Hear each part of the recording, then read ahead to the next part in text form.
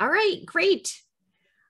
Well, I'd like to welcome everyone to this uh, webinar this afternoon. I'm, I'm very excited um, by the panel that we uh, have brought together to talk about regional innovation ecosystems.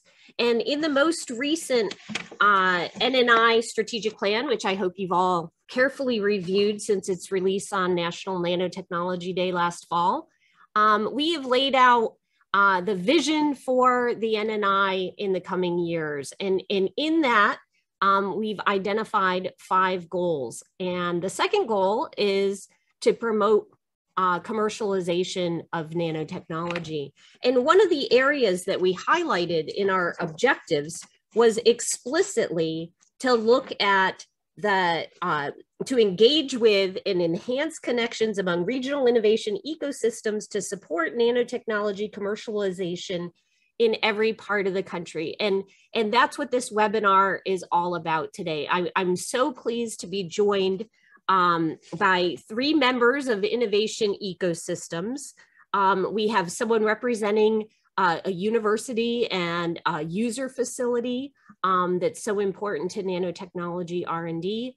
Uh, we have someone who's representing kind of the, the, the finance and the, uh, the advisory role perspective um, that's so important to, to give small companies um, advice and guidance and and support and and we also have an entrepreneur with us today to to share the perspective of actually building a company and and doing nanotechnology and, and transitioning into commercialization so i'm really excited um, to to have this discussion today and and the way that we have it planned is um, we will have three presentations and then we're going to open it up to Q&A. So we're going to start. I'm going to give brief introductions of our three panelists, and, and then we'll go ahead and move into the presentations. Our first speaker today um, is Dr. Tony Green, and he is the Chief Scientific Officer of Ben Franklin Technology Partners of Southeastern PA. Ben Franklin invests in early stage technology based firms and established manufacturers and provides access to business and technical expertise and a network of expert resources and mentoring. Dr. Green has directed numerous public-private partnerships focused on emerging technologies, including the nationally recognized Nanotechnology Institute, a consortium of 13 regional research institutions and corporations led by Ben Franklin, UPenn, and Drexel. And I have known Tony for many, many years, and I'm really excited to have um, his participation today. Our second speaker will be Dr. Gerald Lopez. He's the Director of Operations and Business Development at the Singh Center for Nanotechnology. The Singh Center is a next generation nanotechnology center that merges traditional approaches to nanoscale development with unique state of the art equipment, materials, and ideas. The Mid Atlantic Nanotechnology Hub located at the Singh Center, is one of the 16 sites of the National Nanotechnology Coordinated Infrastructure, which is sponsored by the National Science Foundation. And you hear us here at the NNCO talk an awful lot about the NNCI, the, the user facilities located across the country, along with the nanoscale science research centers supported by DOE. Um, and our final panelist is Dr. Brendan DeLacy. He's the president and founder of Bolidel Technologies, an R&D firm focused on the development of innovative materials and manufacturing technologies. Um, areas of research include nanocomposite design and synthesis, coatings and thin films, hypersonic materials and manufacturing and pharmaceutical tagging and authentication. So um, I'm really excited to, to hear the presentations from our panelists and again, stay stay tuned for the, the Q&A uh, following the presentation. So with that, we're gonna turn it over to Tony. Thank you. The world of Zoom. So stay with me. All right, so um, can you see my screen? All right, so let's do this. And let's see if we can get this on presentation mode. There we go. So first of all, good afternoon, everybody, and uh, really appreciate the opportunity to talk to you about uh, regional innovation and uh, focus not just on how these things happen, but why they're important, and how, in this case, the role of nanotechnology plays an important role in feeding these regional innovation ecosystems. So I'm going to start first with sort of some basics about Ben Franklin for those that don't know us, but I want to frame the discussion with a quote, and this to me frames everything. Science has cured every disease known to mice. We all know what researchers can do. We know what they can do in a lab. But until you actually have a product that's out there working, you don't have a product. And all of the attributes that go into getting something out the door is what, quite frankly, all three of us on the panel today, and what the purpose of Goal 2 uh, in the new NNI strategic plan is designed to do. It's important for basic research, absolutely. But if we're going to use this technology to improve quality of life, to provide new resources, new products, new technologies, you have to underpin it with this basic science, but you also need an ecosystem that can take that and translate that into something that you can hold in your hand or inject. So I like this quote from my friend Dave Weiner here at Penn. So let me talk a little bit about Ben Franklin. We are a statewide organization of sorts. We are independent 501c3 nonprofits. We're a nonprofit venture capital. That's oxymoron number one. We get our core funding from the state of Pennsylvania, but it is not the only source of our funding. In fact, the state money is only about a third of our budget. We have an obligation, the four Ben Franklins, which were created almost 40 years ago, to be economic growth catalysts, and we do it by investing in technology. That's our mission, is to increase economic prosperity, economic growth, job creation through investment in technology companies. We are in the southeast of Pennsylvania, Philadelphia, and the four surrounding counties, obviously dominated by the major universities that are here. There's about $2 billion in R&D funding in Southeast Pennsylvania alone. So as I said, we've been around almost 40 years. We've invested two, over $200 million into 2,000 companies. We are the most active seed investor of technology companies on the East Coast and usually in the top five or top 10 in the country in terms of the number of deals that we do. We do more deals than Kleiner Perkins. We have fewer zeros after our investments. We will do the first $10,000, $25,000 to can I even build my widget? Or forget whether your magic drug cures diabetes, does it kill the mice? These basic de risking questions that have to happen. So we go all the way down and then we invest no different than a for profit venture capital, but do it in a nonprofit environment so that the returns on our investments, and we're actually very good at what we do, goes right back into new companies. So just to give you, we just uh, released this for last year. We put 8.4 million into 39 companies. What you can also see here is that we're technology agnostic. So we have three major sectors. We have IT, healthcare, physical sciences, that's our manufacturing, drones, and so forth, all, all fit into that. Our budget will change anywhere from 6 million to 12 million each year. Our most active year, we put 12 million on the street into 62 companies. That was six years ago. And again, fulfilling our mission, which is to help grow the state. Right now, we have 205 active portfolio companies.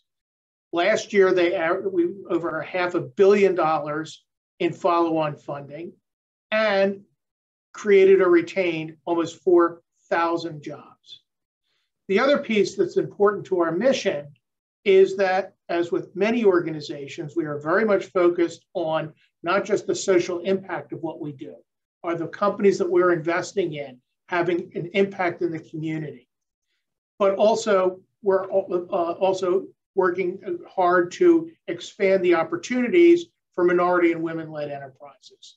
And these numbers of 36 and 38% are actually much higher than the national average but they're not where anybody wants to be. And so we, we actually have a goal um, to try and achieve those kinds of expanded numbers to really improve that number. How do we do this?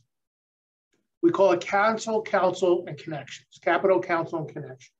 So we will put in up to a million dollars over the lifetime of a company.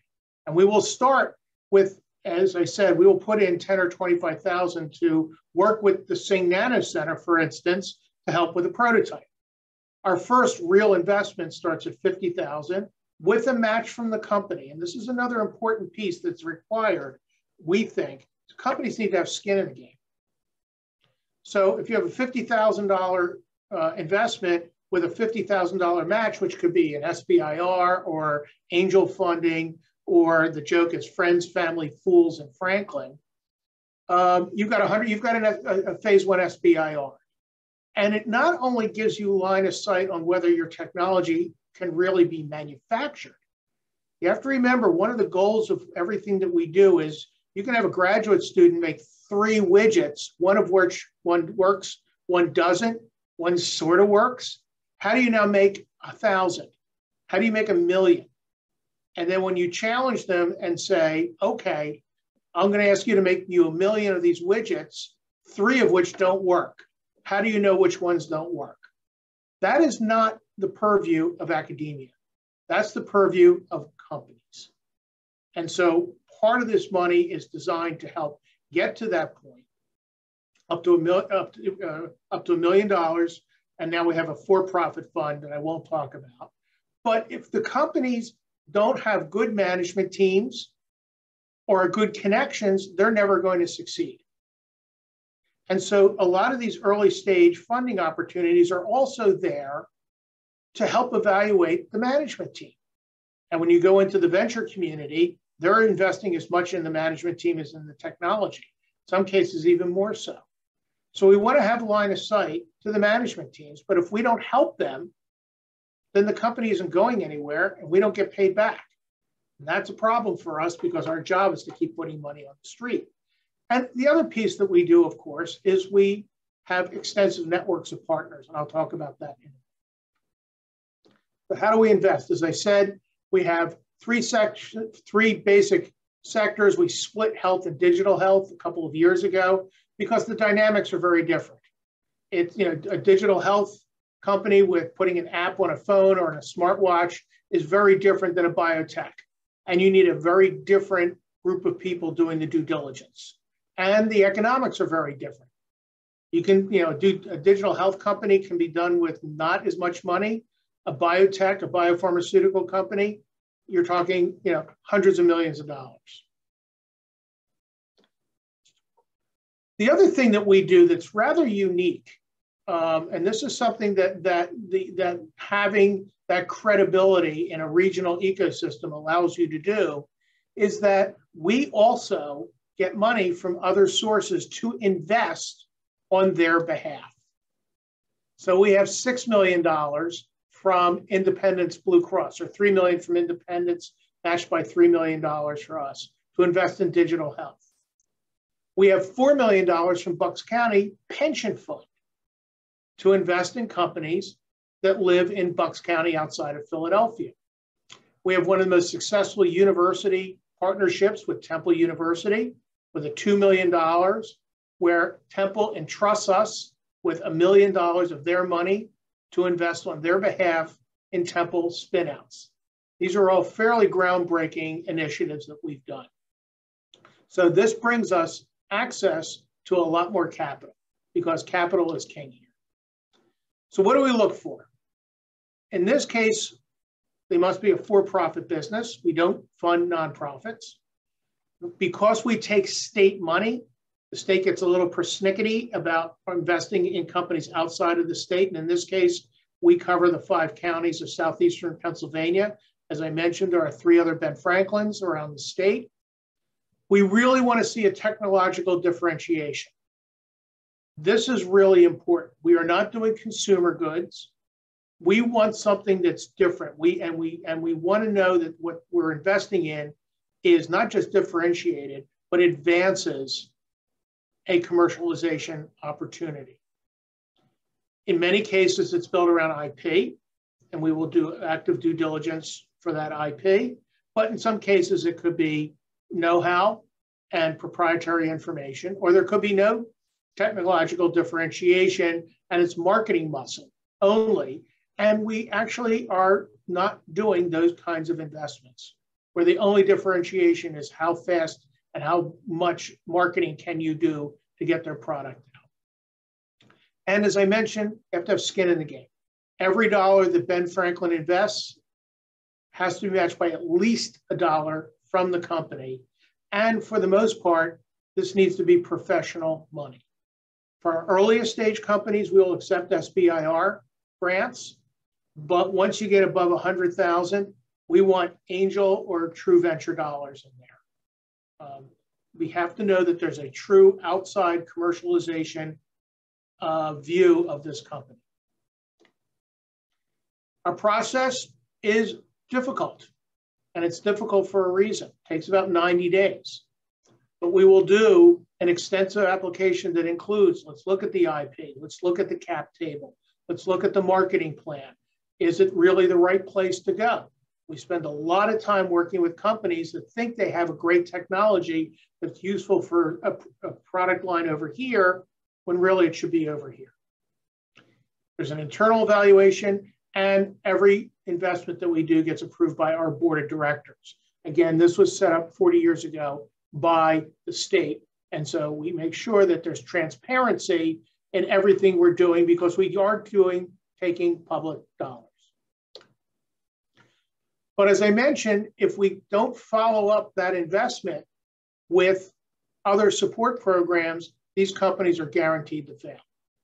And so we work with corporations, with business connections, with our universities to Singh as a resource for our companies, other entrepreneurs, legislators, and other investors. That's part of our job is to make these kinds of connections, which we call our circle of benefits one of our newest programs, and this is not our program specifically that we brought down from MIT, the MIT Venture Met, is a mentoring program. And it is a terrific program about building the next generation of entrepreneurs. This is not a boot camp. This is not an accelerator. This is team mentoring of entrepreneurs by entrepreneurs.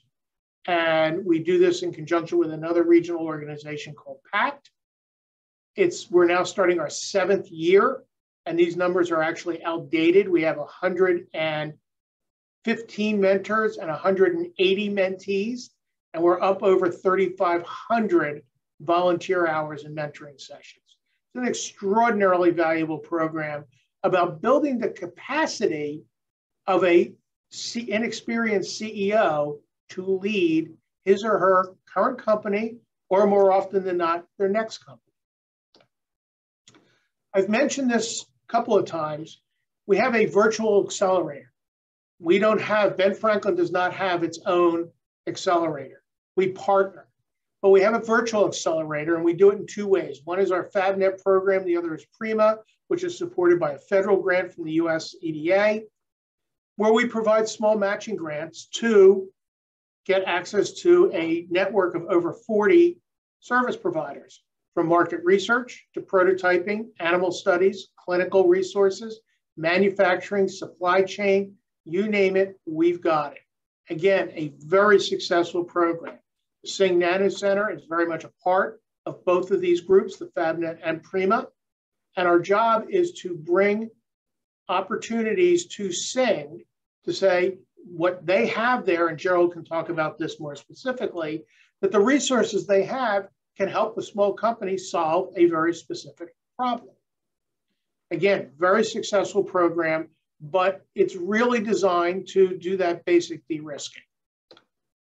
This is just some examples, but I do want to point out uh, Avisi, really interesting technology developed at the University of Pennsylvania, and it has developed a new nano-enabled drainage device for treating glaucoma. Most glaucoma patients, they put in these big shunts and they wind up 50% of the time, they wind up coming back for more surgery. This is a technology and it was prototyped and developed again, at the Singh Nano Center that is now in clinical trials. And they started with a $4,000 FabNet grant, got a $10,000 Prima grant, got a $300,000 investment from Ben Franklin. We've now upped that investment. They got a big phase two SBIR, and they're doing a new funding round, which allow, is allowing them to get into the clinic. But this technology could never even get to this point without, in this case, the resources of the Singh Nano Center. We also work, as I said, we don't have our own accelerator, but we've got a lot of them in the region. This is just a quick list. And of course, we work with our university partners around the region. Part of our job and part of my job at Ben Franklin is to sit at the universities to see what's next, what's coming down the pipe, what are the technologies that are coming out five years from now or 10 years from now, most of which may never see the light of day. But we work with them all and they all have translational research programs, and we our teams at Ben Franklin sit on all these committees.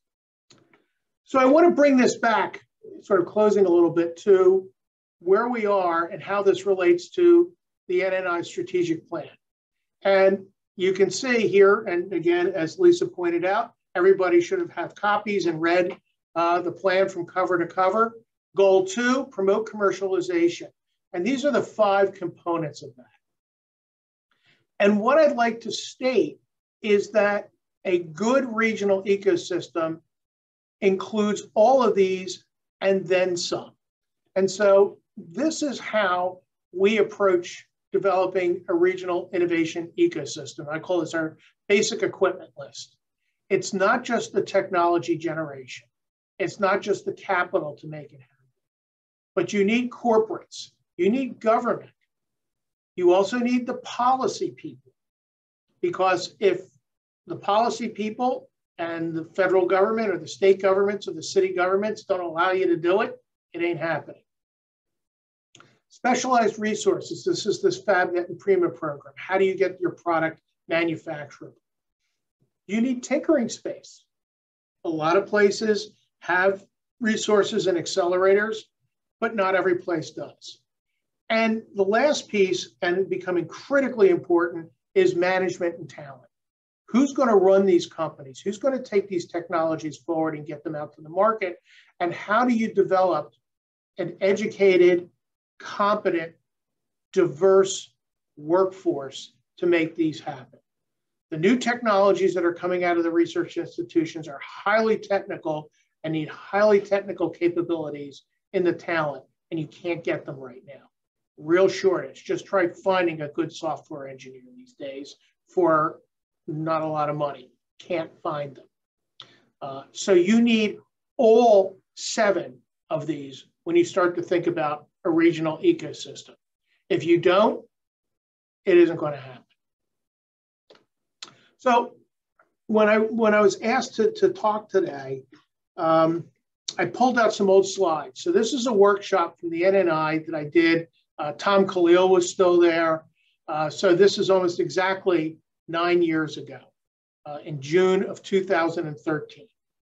And what's interesting is if you look at the slides that I showed, which is what are the potential solutions provided by nanotech, you can look through this list. And while some of them have moved on, a lot of them still are around.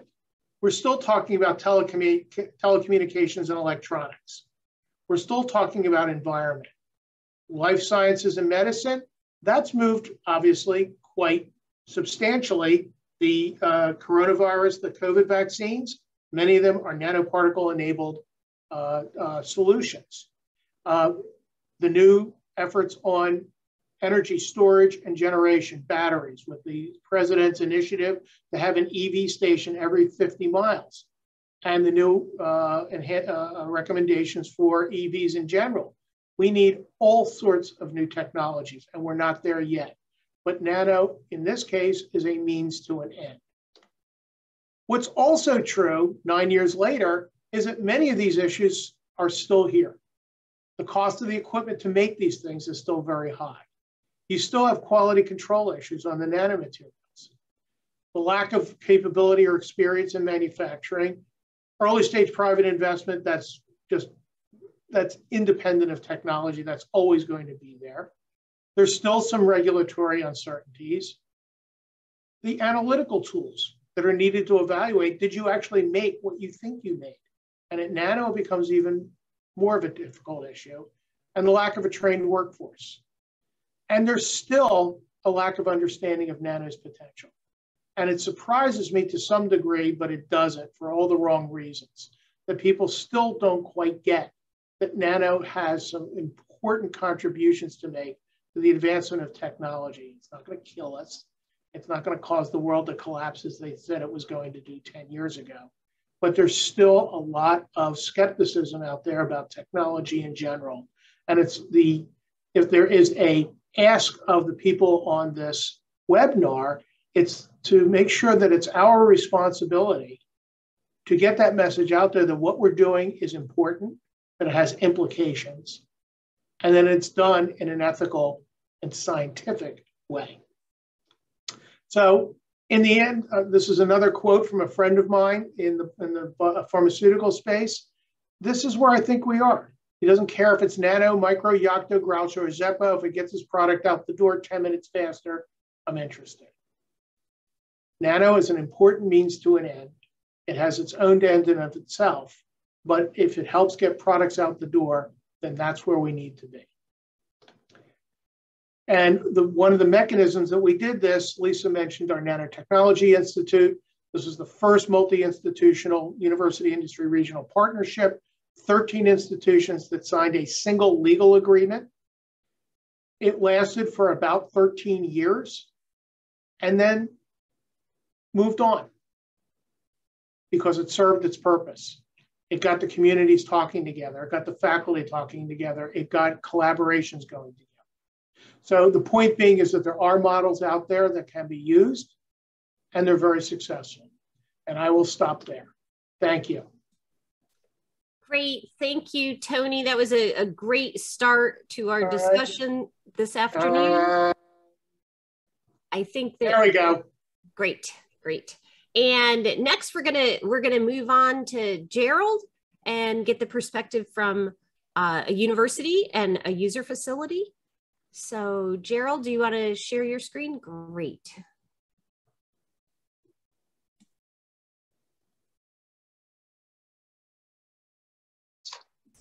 Wonderful, thank you. Um, so Lisa, thanks again for the invitation here to, to speak today. Uh, really honored to be here and you know, as Tony had mentioned, uh, there was a lot of consideration when building this center, uh, the Singh Center for Nanotechnology. Um, and I would say, you know, a lot of strides have been made in a very short time. We're kind of, we're still kind of the new kid on the block, uh, if you think about the age of our center. But I'm going to talk a little bit about focusing on, you know, what are we doing in our engagement? What are we doing in our efforts uh, in promoting uh, innovation here at the Singh Center? Um, so as you can see, this is a building of the Singh Center. This is it's, it's, it's a hallmark is this cantilever structure that juts out right over this green space.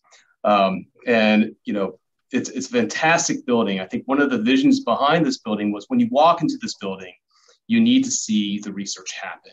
When you do walk into this building, and Lisa and and Tony has been there, you walk right into this transparent glass wall, orange wall, uh, that looks right into the clean room.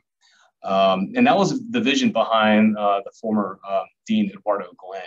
Um, the second piece to this building was, of course, just to make it a venue, right? You can't just have lab space. You need a place to commune. You need a place to bring people together and talk science, talk shop, right? Uh, and extend beyond the walls that are just within the lab space. And I think that's why this, this cantilever that you see is actually an auditorium. Um, and there are also several other nooks and crannies in this building, believe it or not, um, that where people can again meet and talk uh, about what they're doing. So just to move forward here, let's talk a little bit about Philadelphia. Let's talk about the university real quick so that everyone gets an idea of University of Pennsylvania. Um, so this is actually looking east towards the city from University City. And actually, if you look in the corner there on the left left hand side, you can see the Singh Center and the little um, cantilever sticking out. But when we talk about Philadelphia, we, we need to talk about, well, its size, right? It's a large economic region. It's a population of 6.1 million people, right? The second largest city on the East Coast, sixth largest in the US.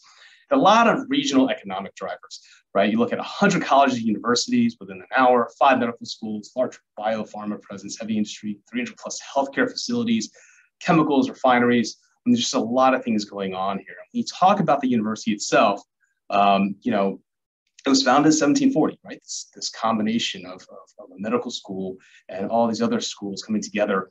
Uh, and our founder, of course, is, is, Ben Franklin, for those that don't know. And we are the largest employer in Philadelphia, for those that don't aren't aware. Um, and as employees, we actually outnumber the number of students that we have. Uh, when you look at our, our, our, ratios between graduate students who are doing the research versus the undergrads who are attending and working under degrees, uh, we're about 50 50, right? Uh, so very heavy tier one, right, uh, type of research institution. Over a billion uh, dollars in annually sponsored research, obviously located in this dense urban environment, which makes us very highly accessible. Um, an operating budget of 13.45 billion, that includes the, the medical school here, uh, with an endowment of 20 uh, 20 billion, where about 800 million goes to tuition, back to, to instruction and operations, right? Um, and donations annually from our from from from our, our wonderful donors is about 100 million a year. Um, but if you look at the regional economic impact of this campus alone, right, it's 21, almost 22 billion dollars, uh, and that's that's just uh, you know that that's a, that's that's there's a sign that tells you that there's it, this is a driver. This is an institution that that is um, you know built and knows how to manage these enterprises. And so we're going to focus down a little bit more on, on the Singh Center and how we fit into all of this. So the Singh Center for Nanotechnology, uh, we actually have this vision to educate, influence, and catalyze nanotechnology, right? And our mission is to drive cutting edge scholarship, productive collaboration, and a positive culture in nano. And Tony may find this very familiar because he was part of this conversation uh, when we were forming this, this our, our vision and mission statement right? Uh, he's part of our executive uh, external advisory board. So around a Singh Center, right, we're, we're, we have this compass of scholarship, right? Uh, culture and impact and collaboration that's that's kind of pointing us in the right direction, uh, resting on our four three priorities of education, research and innovation, and engagement. And so we're always looking in this direction and allowing this allowing this to guide us as we're moving forward. And as Lisa had mentioned, um, you know, we are also part of the National Nanotechnology Coordinated Infrastructure, right? So our, our vision and mission is congruent to what this is what we're serving as a portion of the 16 member uh, uh, uh, uh, infrastructure, where we're just a nationally recognized center of, excellence, uh, and each represents our own region, le region leadership and kind of guiding as we're moving along. So what does that mean for us? We're known as the Mid-Atlantic Nanotechnology Hub, right? Um, and so let me show you what this means. Uh, for those that don't know, Philadelphia is bookend between Washington, D.C. and New York City.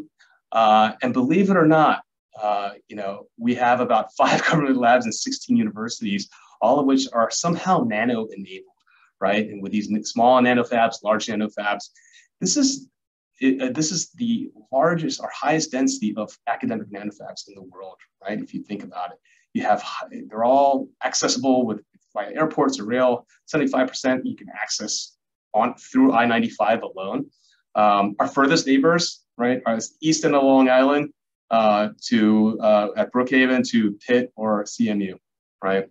And then our closest neighbors is just like one city block, right? Drexel really sits right behind us here on this block where we're sitting at the Singh Center.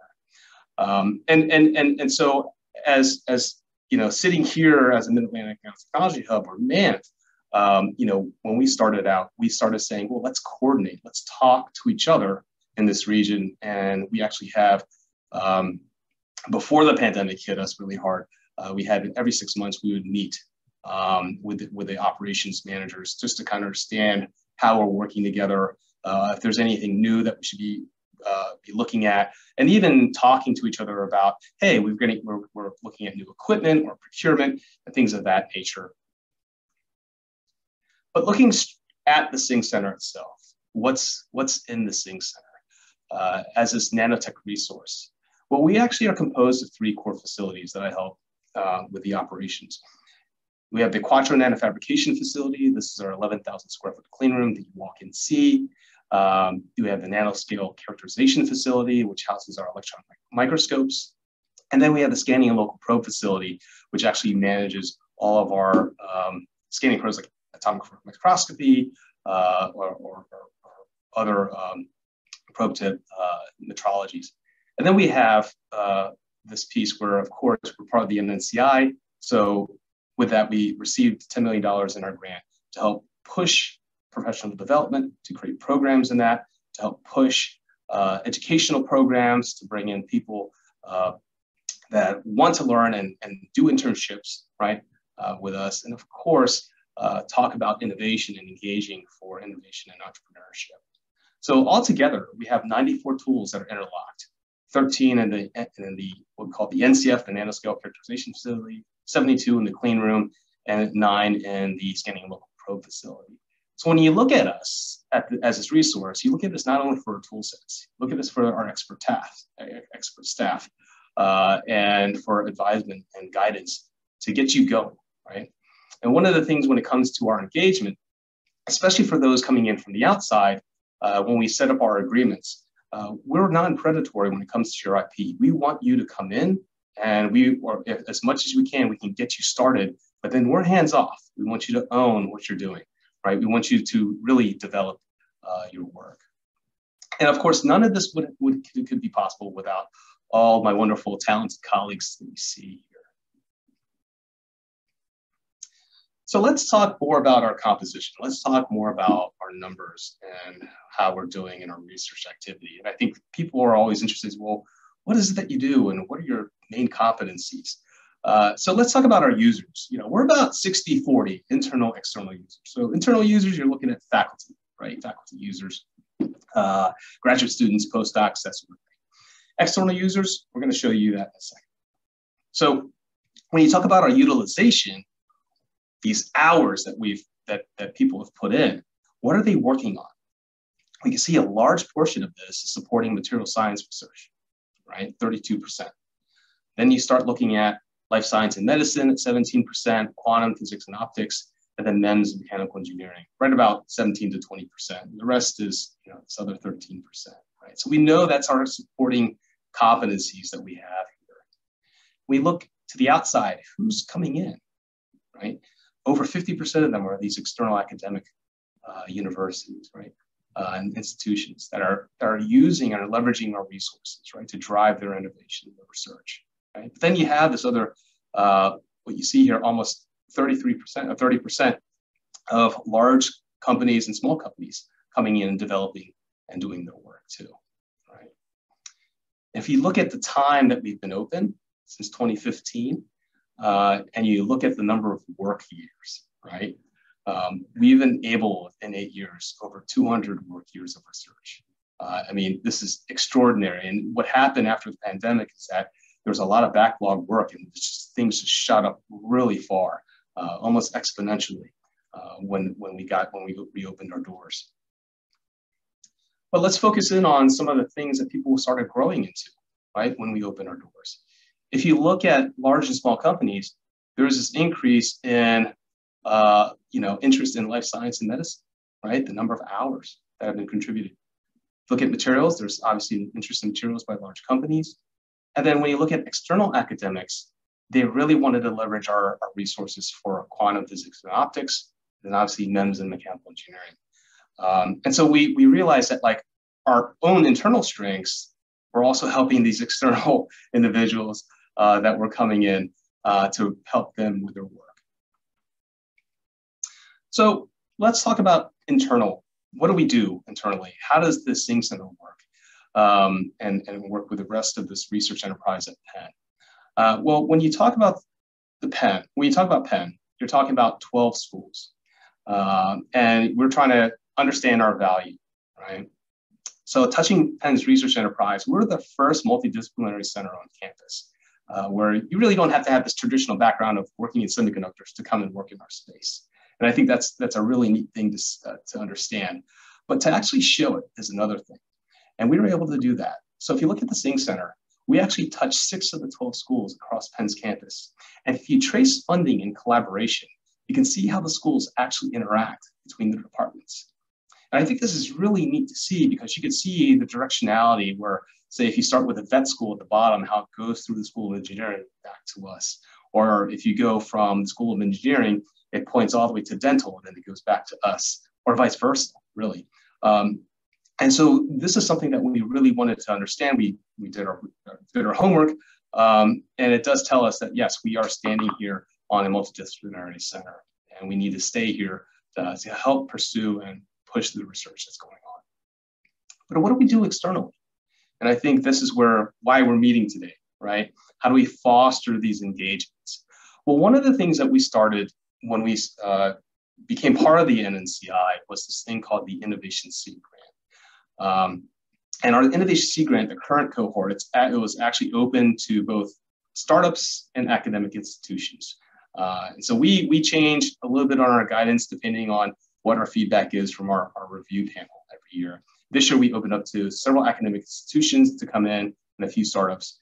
And preference is obviously given to first time engagement, right? So they have to submit an application uh, and they can be awarded up to $4,000 in tool and, and, and, lab and tool access.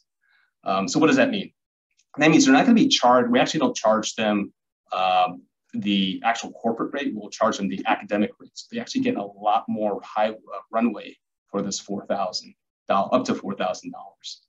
Um, and the second piece is, is obviously they can go up for renewal for the following year, right? If their work is substantiated. Um, and so I think, you know, this fits into like one of the main things that I, I believe other institutions would like to do is like, you know, they want to help reduce rates, right? And provide a way to like get people to engage. This is non-dilutive funding. We're not asking anything of, of anyone that apply and are working through with us. And so this helps kind of bolster them into this position to work. Now, what happens when they're done? When they're done, um, we have this option of joining what's called Club Nano Edge. Um, and Club Nano Edge is just access to our clean room. It doesn't provide access uh, to, say, the metrology equipment downstairs. Right? That's a re- those are recharge facilities downstairs. The, the clean room is treated differently. I'll tell you why. When you're building a widget, and you're building a widget, maybe the first of its kind, you really don't know if it's going to work, right? Um, and so what we did is we found a way to create this budget-friendly uh, rate structure that allows, you know, uh, uh, these startups to come in and work on their projects. Uh, and it reduced the risk of cost uh, and ownership for the research and development overall. And I can go into greater details on how, how we approach this. But I think what's really important is to talk about the outcomes of all this, right? When you look at what's happened and since we've been open, Singh affiliated startups have received $60 million in grants and revenue so far. Uh, and last year was a blockbuster year for one of our companies that won 20 million in Series B. Um, but you know, this is kind of what we're keeping track of when we're moving through this ecosystem since we started, right? And this has been a very short term that we've been here. Um, but I think what's important is that you know a lot of of, of universities and institutions that are thinking about having a center like ours, you know, they're thinking about how do we engage these small companies? How do we bring them in? And the first two things they're going to think about is well, uh, we should provide a reduced rate for the SBIR companies or some startups. Maybe write letters of support, but that doesn't solve the other pain points that startups have. And I think Brendan can, can talk more about this. And so how do you quantify the nebulous tasks of lab and tool use in this new, new technology, right? How do you, how, if we were to, you know, argue with that uh, for funding for a program manager? Or how do you manage expectations of funding agencies or funding stakeholders to de-risk this investment you're asking to do? And I think the third piece is how do you encourage continued engagement after funding, right? And, and I think what you see here is this progression of providing non-dilutive funding at, at the beginning, a small amount to kind of get them going, right, with the Innovation Seed Grant. And when they're done, transitioning it into something that's realistic uh, that meets these three pain points that I had mentioned um, so that they're clear as to what the expectations are. The program managers are clear what the expectations are. So lastly, you know, as a summary, you know, we're a recognized center of excellence. We're part of the NNCI. We're strategically, strategically positioned in this urban environment uh, comprised of three core facilities, have enabled so many years of work, work years of research Uh, and you know, aside from our programs of innovation, we have professional development. Um, we have actually a cooperation with the uh, Community College of Philadelphia uh, for nanotechnicians program, and we have a lot of educational outreach. Um, with that, I like I, am open to any questions. So. Great, thank you so much. And I, I have a, a long list of questions that I'm gonna save uh, for the, the Q&A period after uh, our final presentation, but there's just one I want to ask now before we move on. And when you talked about the seed fund, uh, I, I, know we've talked to a number of companies and we've um, done podcasts and other engagement with folks who have um, uh, been fortunate enough to, to receive seed funding from you and, and you know they've shared the impact that that's had on their small business. Um, Tony mentioned that that their region covers uh, five different counties in, in southeastern Pennsylvania. Is there uh, a regional restriction to um, the, the eligibility for your seed fund? You know, there, there, we haven't really put a restriction on region just because of the fact that if there is somebody that's in Virginia or West Virginia, we want to be open to them if they want to come over, right? Um, I, I, think I think doing I think uh, siloing ourselves into a specific region uh, actually does a disservice to these these ecosystems that are, are disenfranchised just because of geography. Um, now, obviously, if someone were to come in from say you know the West Coast and we're trying to bring them over, uh, that's another thing to talk about, right? There's the funding situation is way different over there. Why are you coming to us? There's a lot of resources over there. So it's it's definitely something where we don't want to be too restrictive, uh, but it, but yes, we do to put it into consideration. Okay, great, and we'll come back to that point at the Q and A because I think that you know one of the issues is you know in that case maybe you could send them to one of the NNCI centers that that are out west. But but um, exactly. I'd like to move on to our our final uh, presenter today. And, and that question was also a little bit for Brendan um, because of the, the eligibility um, coming from Delaware in, in um, being not, not situated directly in Philadelphia. Um, but I'm really looking forward to kind of the, the third leg of our stool today um, to get the perspective from an entrepreneur. So with that, I'm going to let you go ahead. Thanks, Brendan. I appreciate it, Lisa. Uh, thanks for allowing me to have a chat today and to provide this perspective.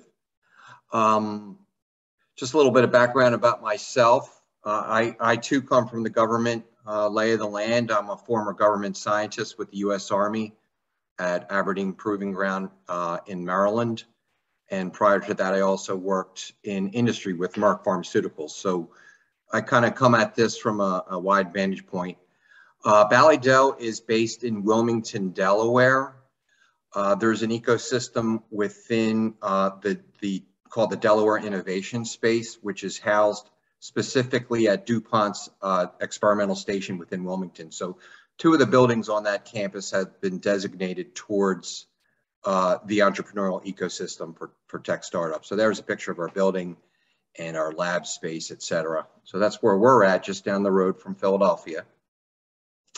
And the company was founded in 2018, but I really didn't get this thing going until 2020 in the middle of the pandemic. You know, I had this entrepreneurial bug for quite a while and I've got two young kids and uh, middle of a pandemic, perfect time to start a company, right? Uh, when is a perfect time? You, you, just either want to do it or you don't. So uh, 2020 is when we really uh, got this thing going and I, and I jumped ship, so to speak. Uh, our goal is to develop novel materials and technologies that can be integrated into existing products or existing manufacturing platforms, thereby enhancing uh, commercialization potential. Uh, we're pretty small at this juncture, five employees, myself, uh, Sid Garrett, PhD in electrical engineering, and we've got a variety of other folks and, and, and skill sets that complement one another within the company. Uh, material synthesis, computational electromagnetics, a lot of interaction of light with matter is what we deal with. Uh, I'll get into um, an anti-counterfeit story with um, for, for, for drugs, for pharmaceuticals. So we got we have some FDA regulatory expertise uh, in-house as well. I've had ex extensive uh, academic collaborations through the years, including now with Valleydell. Uh, we collaborate with the University of Delaware, Drexel University, uh, MIT in the past, Temple, Rice, Ohio University, Utah State are some of those folks that we've uh, collaborated with in the past. Uh, here's just a nice little image of, uh, you know, we all love pictures, right? Here's just some areas that we're working on. Uh, hypersonic materials and manufacturing uh, to the left there. You know, what's this about? These are high temperature materials that can withstand, uh, you know, going out into space, reentry, dealing with the hot and cold temperatures that are encountered in space. Uh, top center there is a, a focal point of the business the tagging and tracking of vaccine and biologic files that are utilized in, in for biologics and vaccines throughout supply chain. Uh, I'll talk about that in a bit. Uh, upper right-hand corner, uh, scalable max phase and MXene synthesis and application space. This is a unique material that was discovered uh, by folks at Drexel University. Talk about that. And then in general, our business is focused on developing novel nanoparticles, nanostructures, and nanocomposites that can be employed in a variety of applications. So I'll just go through a variety of case studies here. Our, our, our main revenue source is the SBIR and STTR funding source. My goal is not to have Valleydell as a quote unquote SBIR company. I don't want that to happen. I want to employ the SBIR and STTR process to develop technologies and products and to commercialize those. It's just merely an avenue to develop uh, technologies and products. Um, we don't need to read this, but we've concluded uh, two phase one SBIRs thus far in about a year and a half. Um, uh, one with NASA, one with the Air Force. Currently, we've we've got uh, one SBIR going with the National Science Foundation on the tagging technology, and we've just initiated a ChemBio sensor uh, project uh, as well. And we've got a couple pending. So I'll go into each of these just to give the audience a flavor of what we do and uh, what our goals are with each of these tasks. So the first one that I that I feel is is uh, most promising. This is the one that will be our first product. Is an anti-counterfeit solution for for the pharmaceutical industry, and we had uh, great timing for this. We we submitted our proposal to the National Science Foundation just prior to the pandemic occurring. And uh, you know, timing is everything, right? So it, it was a good it was a good topic for supply chain integrity and authentication. Uh, just to let the audience know, uh, the counterfeiting of drugs is a huge worldwide problem. We're not talking about some guy down in his basement making fake drugs and selling them. We're talking about mass distribution and mass copying of drugs, intellectual property being stolen, and, and mass production of those drugs uh, being sold.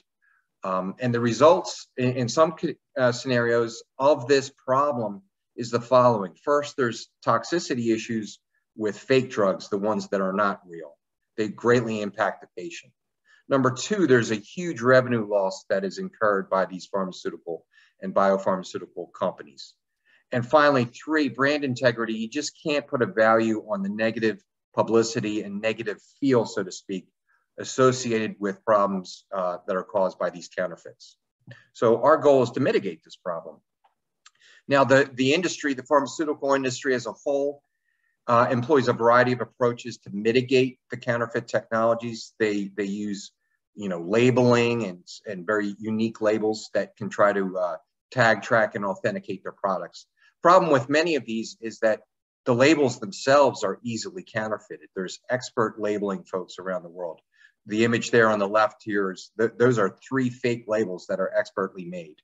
Uh, in the center, you can certainly employ QR codes to tag and track your product, but QR codes themselves are ubiquitous in society now, right? So these are very easily counterfeited. There's other uh, approaches that have their pluses and minuses, but really the industry is really seeking a, a solid covert and counterfeit proof tagging technology. And, and that's the space that we're trying to fill. Again, the impact of the counterfeit problem is on consumer health.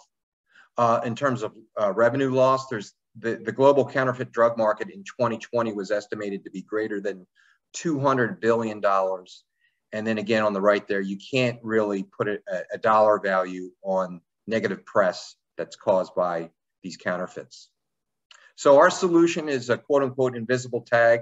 It's not truly invisible, but it doesn't mean anything when you look at it. Uh, and we, we're gonna uh, create very unique holographic images that are generated uh, by our tags. And, and these uh, tags will serve to mitigate damage to brand integrity and increase revenue, not just for the pharmaceutical companies, but we want to increase revenue and provide value to the vial manufacturers and the labeling manufacturers that are employed by the industry. So basically, this is a very uh, sparse overview of our technology. Our labels are placed on a vial, so to speak. You interrogate with a certain type of light and we have a holographic image that's produced. It can be a word, it could be a number, it could be a logo. In this case, we're projecting a QR code, of course, into which we can embed a series of product information. And then you can employ a simple phone application to read that QR code that is projected. So we've got great flexibility in our technology. Um, here's a little example on the left. Each of those little squares on the on the on the glass panel to the left represent um, a quote unquote master, a, a design tag. And those tags are transferred over into the center into a roll to roll plastic uh, process. Uh, so it's certainly scalable. And when you interrogate one of these little squares, you, you project a particular image. In this case, we're projecting the word valid or a QR code, but we've got great flexibility. And, uh, you know, I'm not getting into the proprietary aspects of this technology, but it is uh, very counterfeit proof, and we can encrypt it in all sorts of way, uh, where it's a true lock and key type of uh, reading process. Where on the left, if you use our lock and key process, you can truly see the word valid that is meant to be projected. Whereas on the right, if you do not use uh, our lock and key approach, if if some stranger tries to read it, they're not going to be able to read truly what we're trying to generate with the tag. So um, we've got we've got good counterfeit proof approach here. Um, so that that entire um, uh, technology is being funded through the National Science Foundation. Changing gears a little bit, one of those areas that we're focused on, uh, changing gears a good bit actually, is uh, high temperature materials for space and hypersonic applications. You know, you really got to employ high temperature, high melting point materials that have mechanical stability and uh, unique properties. And, and in some cases, you want the optical properties to be retained for these high temperature materials. So right in the center there, we had a collaboration with Penn State um, Applied Physics, uh, Applied Research Lab, excuse me. That's a picture of a field assisted sintering technology technique where we partnered with them uh, to, uh, and that basically employs pressure, temperature, and high, highly pulsed current to convert powders into solids with unique shapes. So that's what we what we did to employ uh, for this one particular phase one with NASA, where uh, we were tasked with trying to join two-dimensional carbon composites with three-dimensional carbon composites. For those of you out there that are not familiar, carbon composites uh, have uh, great strength, but are much they're they're lightweight in comparison to metals, and uh, two-dimensional have different uh, carbon composites have different uh, characteristics in comparison to say to three-dimensional. And uh, sometimes it's difficult to join these two disparate composite materials. So we employed a unique material called Max Phase, a, a, a, a metal carbide, a ceramic type of material to, to join these two disparate materials using this FastMet technique at uh, Penn State. Uh, moving right along here, um, in a collaboration with Drexel University, where MXenes were discovered. Uh, we have we have uh, just concluded an Air Force Phase One STTR with Drexel, and MXenes are a, a new, relatively newly uh, discovered family of materials of metal carbides with really unique uh, properties. Uh, a lot of the uh, the audience, I'm sure, has heard of graphene uh, the, the, one of the discoverers, Yury Gogotsi at Drexel, he likes to refer to MXenes as graphenes, uh, graphene on steroids. So pre the precursors to MXenes are max phases, these multi-layered structures depicted on the left. And what you have to do is you have to uh, etch away interstitial, interstitial uh, metals such as aluminum in order to form these two-dimensional MXene structures, which are on the right. And MXenes are being explored for a range of unique applications from, uh, from charge storage that are, that's pertinent to batteries, to uh, unique optical properties uh, that can be employed to shield uh, a, variety of wavelengths of light. Uh, they can be employed to, to uh, filter water and, and decontaminate. They've got unique photocatalytic capabilities, which we've explored at Ballydell as well. So it's really a unique and fun class of materials. And uh, the literature production has just exploded in this area of research in the last 10 years, just, just gone up exponentially. So, uh, you know, many, many of our folks around the world really understand the great potential of this material.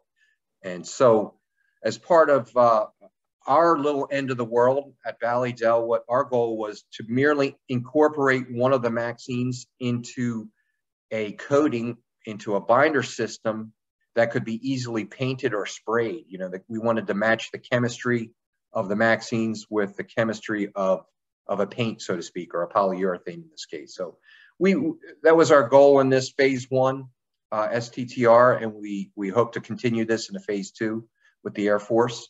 Uh, but long story short, we were well able to integrate um, this particular MXene into a sprayable coating.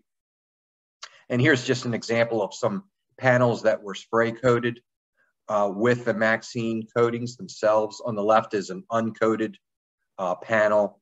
And as you go from left to right, uh, the, the uh, second most from the left is a MXene coated, purely MXene pristine coated uh, panel. And as you go on to the right, uh, a MXene polyurethane based coating.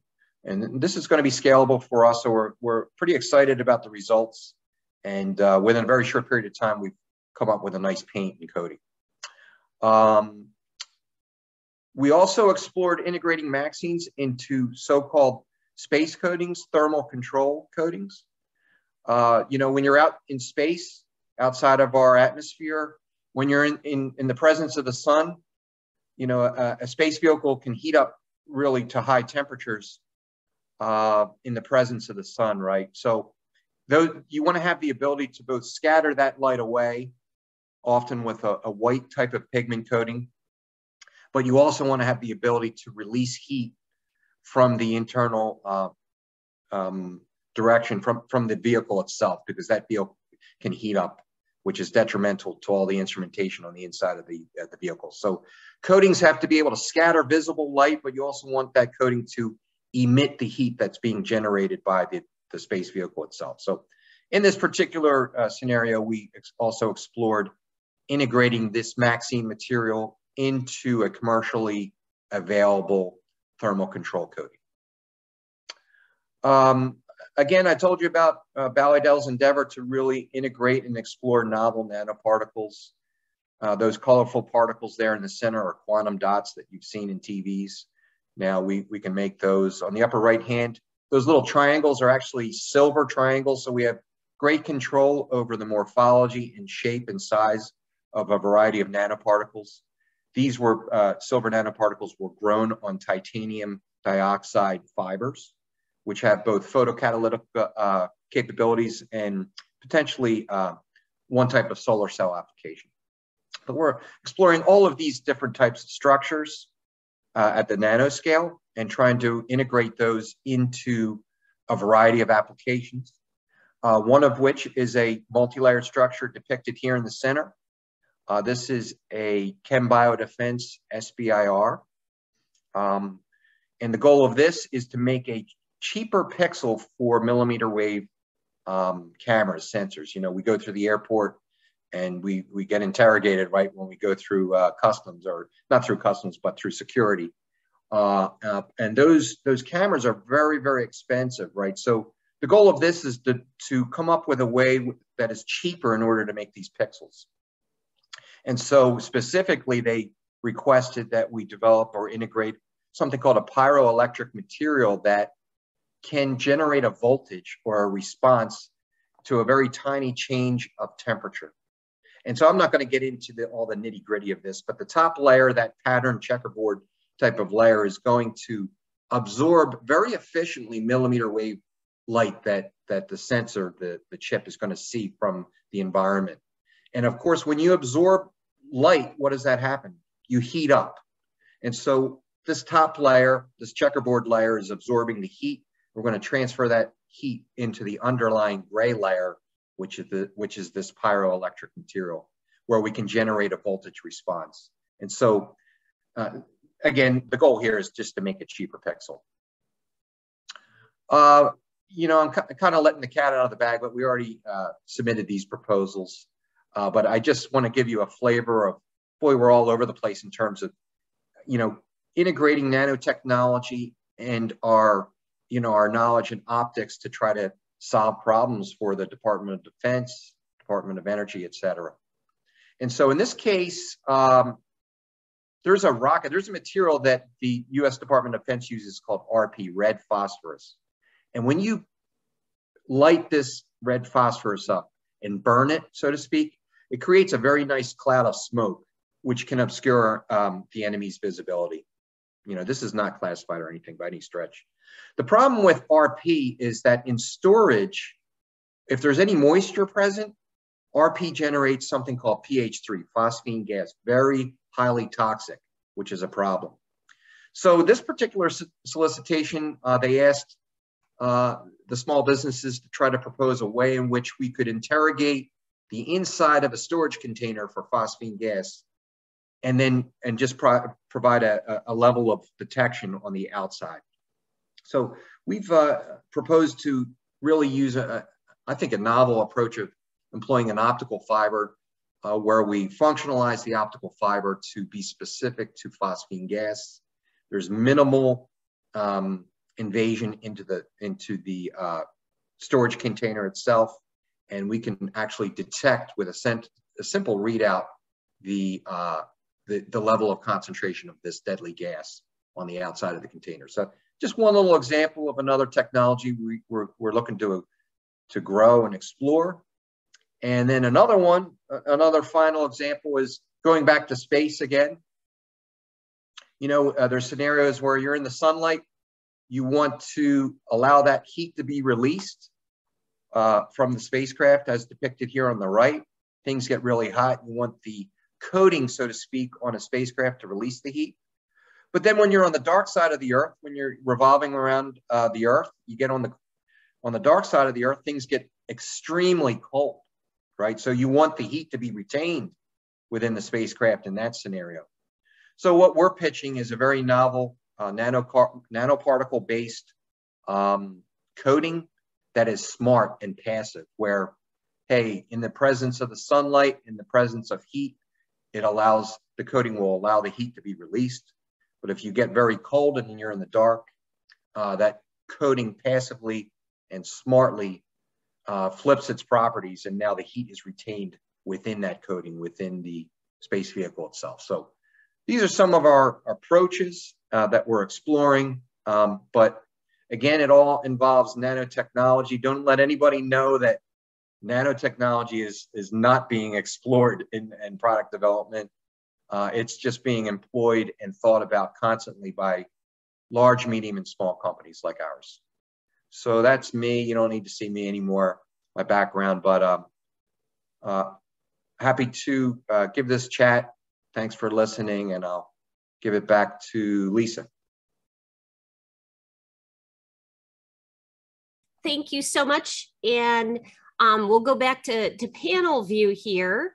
Um, so now you've heard from an entrepreneur who's uh, exploring a number of applications of, of nanomaterials, uh, a user facility, and um, uh, in, in Tony with Ben Franklin with the the uh, wide range, the circle of benefits, um, which I thought was a, a, very nice way to put it, Tony. I'm going to ask the first question for, for the panel. Um, so we've had these three perspectives today, and, and we've talked about uh, the, the role that you play in, in the ecosystems where you reside. But I'm sure this is, is only the beginning of the pieces that are required uh, to have a, a vibrant and successful innovation ecosystem. So I'm going to start with Tony and, and ask, so from your perspective, what are the other pieces that you need that, that you um, engage with that, that help you be successful from your perspective? And um, I'll start with Tony. Great, thank you. And actually, um, Lisa, thanks you for the, for the heads up on the question because it allowed me to pull another slide from another presentation that I've done. And I'm going to share my screen again to show you one sort of one of the ways that we think about this. And part of it is just asking critical questions. So let's see, can you see that? Is that shared properly? Yes. So all of these things have to happen. Does somebody want it? Does somebody want your product? Can I make it? Can I make it at scale? Can I protect it? IP is, you know, is getting harder and harder to protect. Is somebody willing to pay for it? And this is particularly true, obviously, in life sciences, where you get payment through insurance companies and so forth.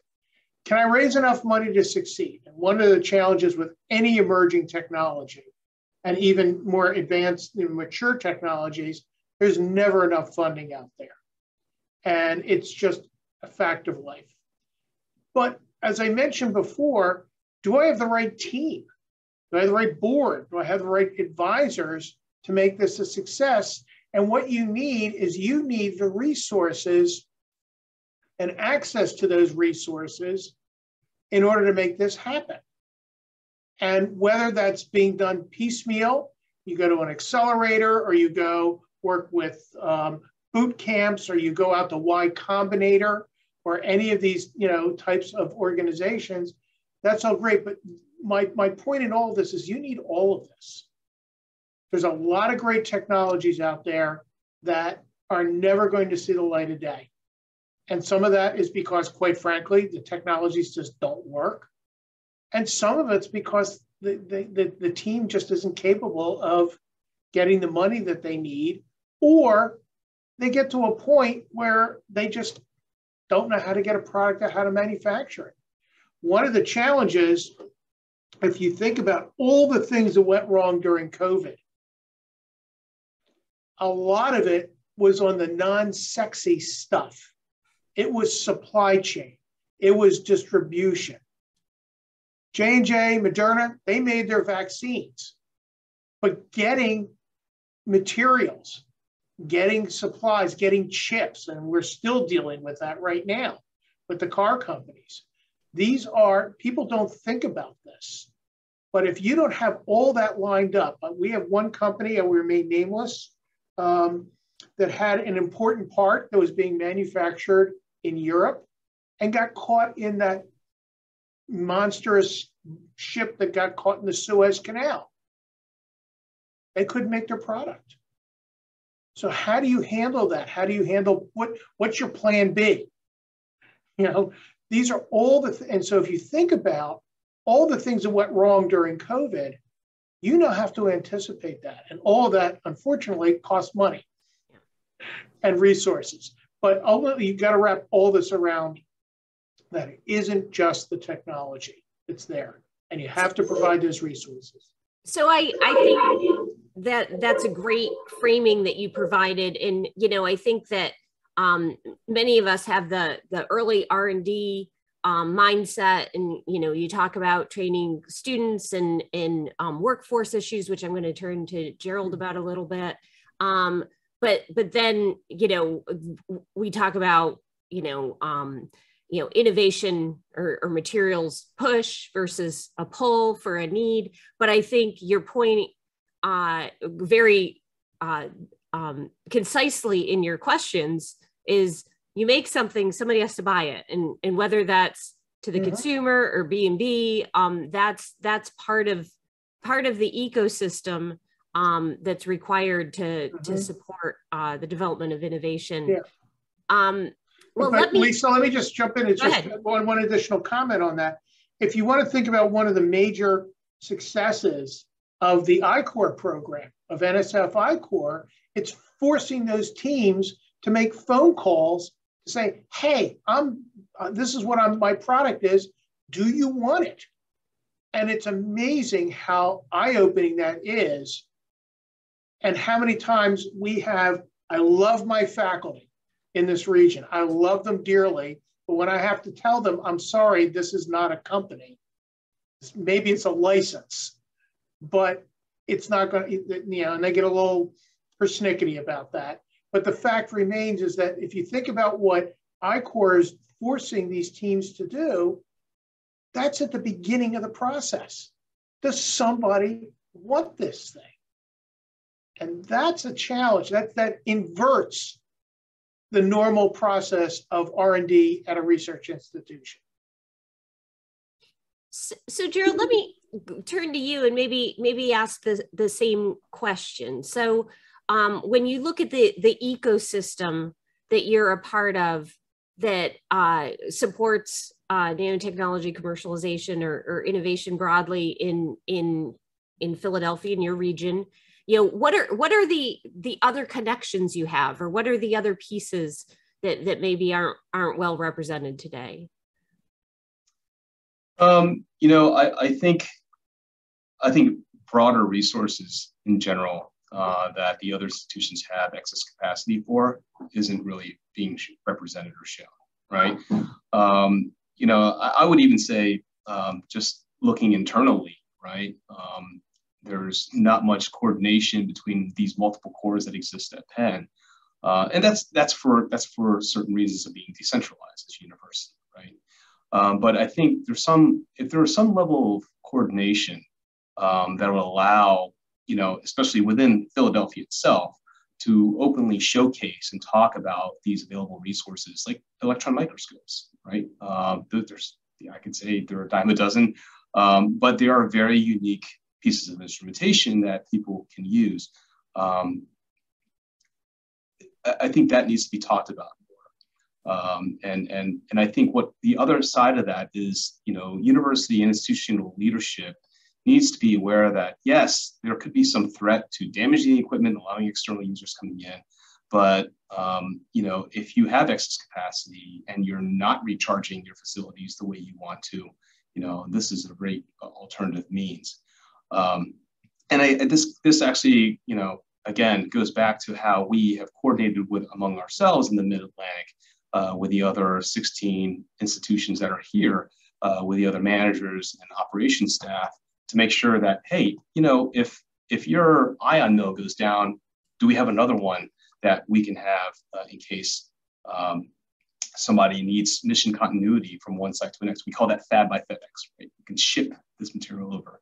Um, we need to establish that. We need to have, we need to, you know, we need to make sure that people are aware of that. Um, so, I'm going to come back to that in a minute because you you hit on something that I I want to I want to pursue further. But but before I do that, let me ask um, Brendan to answer the same question. So from the entrepreneur perspective, you know, what are the other resources or or um, you know um, mentors or or um, you know what what are other pieces of of your ecosystem that are that are critical to your success yeah i, I like to talk about this one because um okay number one what tony was was speaking to uh, regarding I-Corps training for the, the audience that they're not familiar with it a variety of these funding agencies provide avenues a, a small amount of funding to dedicate towards uh, surveying the market and trying to understand does your technology address a need within the market? You know you're not going to sell anything unless your your technology or product is truly solving a problem and so so many folks there's a lot of smart cats around out there right they've got all these cool technologies but is it really a product that addresses the market need so the only way you're going to figure that out is by interviewing 50 to 100 companies or people within that um, supply chain that have an understanding of the true market need. And what happened uh, often from that process is the following. You think your technology is right, but from those interviews, you sort of tweak your technology, you, you pivot, and you modify your technology, technology development process to address the specific need. And that's happened to us. That's number one. you, you've got to find out the market need first before you start developing even. Uh, number two, I would really uh, suggest and emphasize some of these accelerator programs. As a young entrepreneur, like I don't know what I don't know. So I went through a Science Inc. entrepreneurial program based in Delaware. And you have a, a, a plethora of, of uh, mentors who have grown small businesses, flipped companies, folks teaching at Wharton.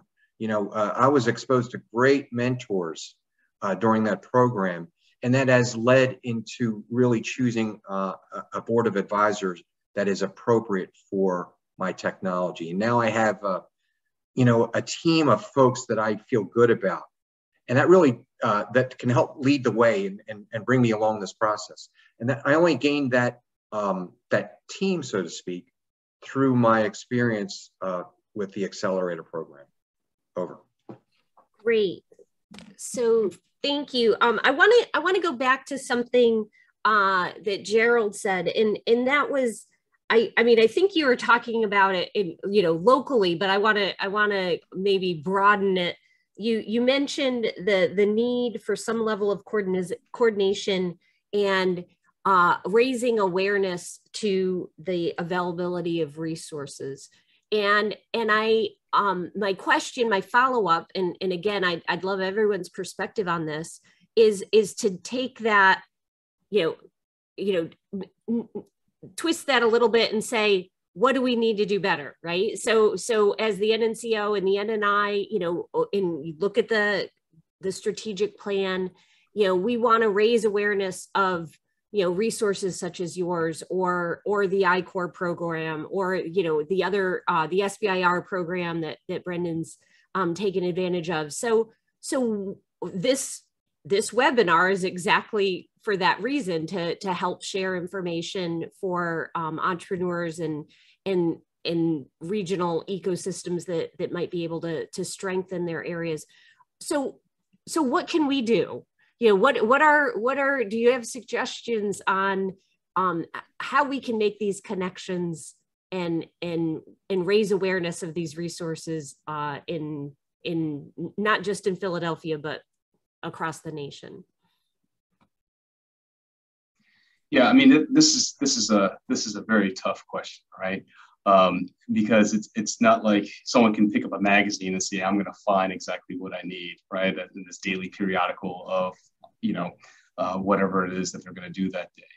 Um, you know, I, have noticed, especially for you, Lisa, you uh, have this nonstop content creation that's going on on your side to really put the, the word out that we are all here. Um, and I think that still needs to be continued, right? Uh, funding needs to continue and to keep doors like ours open, right? And, and, and other centers like us uh, across the nation with the NNCI. Um, and so, you know, we're, we're, do, we're all doing our part to kind of make sure that the word is out there. Um, so, you know, if, if there was a way to open more doors, like I was mentioning, you know, if not locally or regionally, um, to make you know this broader awareness that there's there's other there's other resources that are there that are available. I think a lot of people think that if I need to work with the university, I actually need to go and find faculty to work with, or I need to work through a student, or and it, it really doesn't have to be that way, right? Uh, you know, especially look at what we're doing with the clean room and, and metrology. Um, you know, people think you have to be part of this traditional engineering background to kind of go into the science, where in fact, you know, like you, like I just demonstrated, have six other schools that are that are coming in here, multiple departments each, uh, with these non-traditional backgrounds we're able to teach. Um, so yeah, I mean, it's it, I, I think on your side, what could you do is keep keep keep the funding coming right? Keep these programs going. Um, because, you know, we're, I, I, forget what generation we are in terms of the NNCI. Before that, I was a grad student, I was part of the NNIN, right? Um, and I think, you know, these programs are helping uh, and we're, we're reporting, right, our output and our impact, our, especially our economic impact of what we're producing when these, with these companies interact with us. So so Tony, let me go to you next. Um, you know, are there are there ways from you know the on the on the government side and in our role as a coordination office that that we can help uh, strengthen or, or or raise awareness of uh, resources. Um, do you have any any suggestions for us? Sure. I think one of the things that that and this sort of ties into something that, that Gerald was saying. There is a new attitude that I'm certainly seeing at the federal level that coordinating broadly has value. And they're and they're matching it with funding. And there's two programs that are specific in the last year that have never really been done before in a big way that sort of coalesces a lot of this.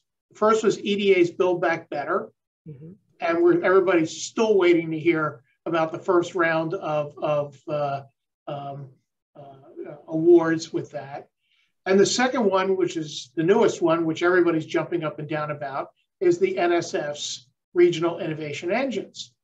What's important about this, and this is why I, I think this is an interesting uh, discussion, the Regional Innovations you know, uh, program coming out of TIP, which is a new directorate at NSF, it's the first time in my, I'm now 16 years at Ben Franklin, where they've actually used the word venture capital in a BAA. They've used the word CEO in a structure, but they are f- requiring all those, those, those seven elements that I showed in that pie, and they're feeding it.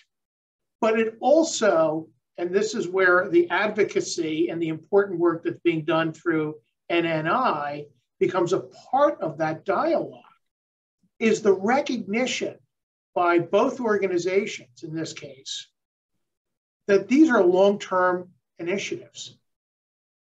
The Regional Innovations Engine program, the carrot is not, is, yeah, the million dollars is a million dollars for this type one. The carrot's the 10 year, 160 million.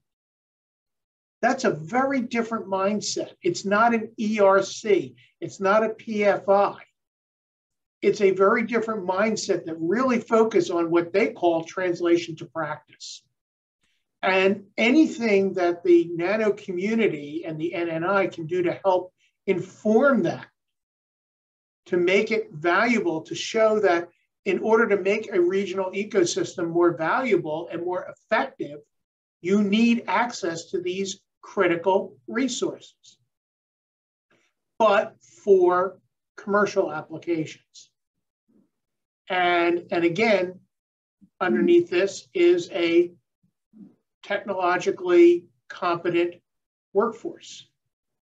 Being able to run, you know, a nano fab lab is not for the squeamish, you know, and, and to use all those the very sophisticated equipment.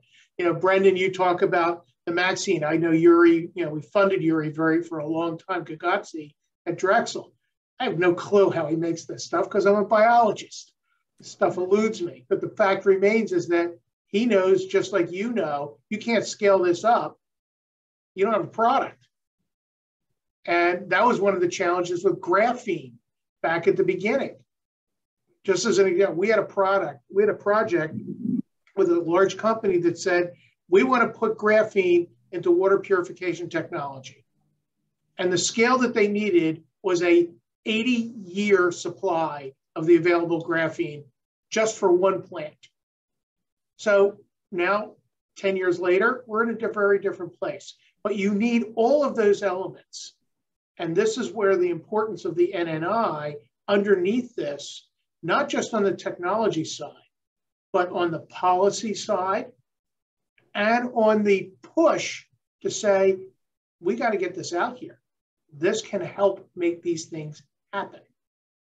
And that's that's where, in this case, the, the, the goals of the NNI, as I read the updated strategic plan, are much more in line with reality right now. Because there is real merit to what's being done. But you got to surround it. Great. So that's super helpful. Um, Brendan, let me ask you from from your perspective. I mean, you're obviously you know coming from the Army lab and um, in in big company and and being very familiar with um, the SBIR process, you know, from from your perspective, you know, is there a federal role to support the the ecosystem um, that that that perhaps we could we could do better from an entrepreneur perspective? Yeah, for me, it's policy push, like you know, advocating for uh, you know nanotechnology and and associated ecosystem to Congress, you know, uh, and implementing those policies that continue to fund and or grow, you know, this space to provide an avenue for scale up of this or scale up of that. This takes funding, right? And so the, the material can positively impact society, but funding is needed always, right? And so, of course, you can go to the venture capital route, but uh, from the government perspective, if an organization like yours can continue to communicate to the folks who make policy and to uh, allow them to uh, them to understand the importance of continuing to fund this ecosystem that creates jobs and improves people's lives that that communication is all i would stress great and and for those of you who haven't seen it Another document is our annual report to Congress. Um, and this is uh, last year's, the, the supplement to the president's uh, 2022 uh, budget. So this is a, a, document that we prepare for Congress every year. Um, it provides highlights of uh, uh, progress toward the five goals that are in the strategic plan. It also um, provides uh, information about uh, agencies' plans and priorities for the coming year. And of course, it has all the budget information. So certainly encourage folks to check that out. Um, we're actively working on the next one now. Um, so I'm gonna um, maybe ask one more question and, and close out the webinar for today. Um, I'm gonna ask um, each of you, I'll, I'll, I'll, I'll, talk a little bit so you can prepare your thoughts since I'm not using the script that we developed at all. Um, I have, I have a, a two part question. So, so first of all, you know, one of the things that we like to do is um, to share advice for, for students or entrepreneurs or, or people who come after you. So, so lessons learned. If, if you were giving yourself advice you know 10 years ago 15 years ago you know what what what advice would that be? And and the second half of that is any closing thoughts that we didn't hit that you think are important for this webinar topic. So i'm going to ask each of you to give advice and then give you the opportunity for any any last words. And i think i'm going to go backwards this time. So brendan why don't you go first? All right um uh advice let me see here. From a legit, if you're going to go the SBI route, SBIR route, excuse me, from a logistical point of view, bookkeeping, I'm a chemist, you know, I'm a material scientist. You're going to need other skill sets to get through the process. All right. And some of these organizations can point you in the right direction, but I can't stress the importance of keeping your books properly because it's not a matter of if you're going to get audited by these government agencies, it's when. And you better have your books in order like they want them. That's that's one little small logistical thing. Um, a major thought is uh, I go back to the I-Corps. If there's any folks in a graduate program or undergraduate, or if anybody has a great idea about a technology reach out to your local small business development center, inquire about this I-Corps program, and before you expend all of this energy and money, et cetera, et cetera, you want to survey the market. And you can get a few couple bucks to provide labor dollars associated with surveying the market. And I would highly, highly suggest you do that before you expend a lot more energy. Great, thank you. And, and Gerald? Yeah, I just wanted to uh, say, yeah, I really appreciate the talk of product market fit, right? And customer discovery here, because that is something that I've come across a few times with some burgeoning entrepreneurs here that really is just you know again their minds blown away when you start asking these questions right if you're trying to if you're trying to make a billion dollars is your problem 10 billion dollars right you know it, these these are the questions that you know drive the impetus into actually what are you doing and why um, and so we need to actually keep asking those questions um, you know if if if you're a if you're an institution or a university planning into you know to open up your resources and opening up your, your, your doors to external folks. My, my, my first suggestion is that you really need to find someone that can, that, that can straddle that fence and talk to both worlds. Uh, you really need someone that, that knows how to coordinate those agreements, understand compliance, right?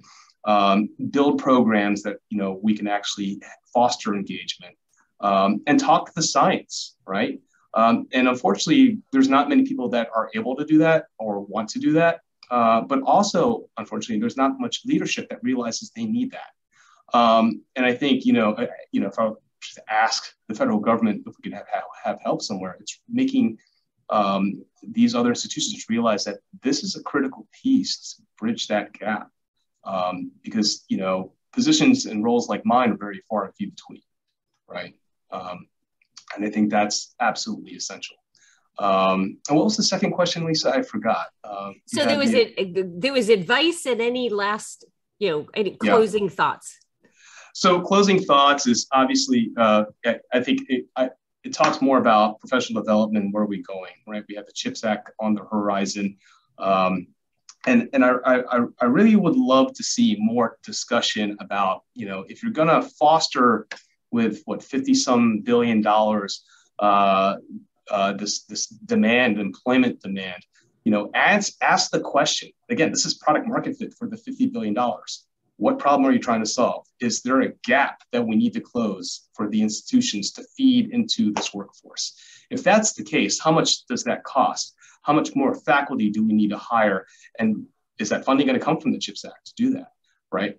And I think that's something that, you know, if we're going to create these new fabs and create these new places, do we have the proper bandwidth to, to achieve that with our labor market? And I think that's a very critical piece. So that's a, so that's an entirely different discussion, but I will say that is that is a, a question under active discussion, and I'll I'll leave it at right. there. And glad to follow up with you later. Um, Tony. Yeah, uh, two comments. First, you know, the question about what can, what can the NNI, what can we do as scientists and so forth? And one of the issues that has not been brought up here, but needs to be to some degree front and center and all of this is education. And building an educate not just an educated workforce an educated population. And going all the way back i remember the nano cartoons that they that were being published you know years ago. Many people are still, you know, a little bit skittish about new technology. There's still a lot of Luddites out there. And the better job we can do to educate at the earliest levels is going to have huge implications as these people get older and the understanding about science. I think that's a critical piece that gets is missing in a lot of these discussions. But in the end, certainly, you know, in my experience, what I, I think needs to change is this two things. I call it this culture of impatience. And the fact that people expect things to be done in two days or two weeks or two years. This is hard. Entrepreneurship is hard. It's lonely and it's always about failure. And that's something that most people don't quite understand. And so, if you you know thinking about it in, in a in, in a in a writ large scenario about how the, the use of nano, look how long we've been talking about this. But it takes time. Every new technology, roughly, the studies are out there, 20 years. I started working in monoclonal antibodies 40 years ago. You know, now it's routine. CRISPR, there's a big article in the Times today, is now 10 years old. It's just now starting to be used, you know, out there and getting and getting into into into clinical trials. This stuff takes time. And we have to be able to educate population as well as the funding agencies and Congress that these issues aren't going to be solved in two years with the next election cycle. These things take a long time. That's a very tough nut to crack.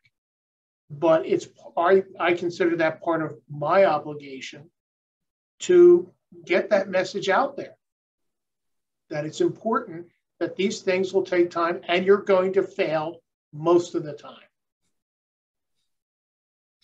May not be the brightest message, but it's the reality that's out there. So, so how do I how do I spin this into a, a, a high note on the on the way out of the webinar today? Thank you all mm-hmm. very much for your time and your thoughts and and your perspectives. I think um, it's it's been a great discussion this afternoon to to look at you know the different pieces of the ecosystem and in in how to get involved and i would just um, encourage the listeners to to keep an eye on nano.gov for for more information um, more webinars like this and um, activity uh, opportunities activities and opportunities to engage um, through through all sorts of uh, outreach and other activities um, and with that, thanks thanks again to our panelists and for your for your time and your insight. And I wish everybody a wonderful afternoon. Thank you. Thank you, Lisa.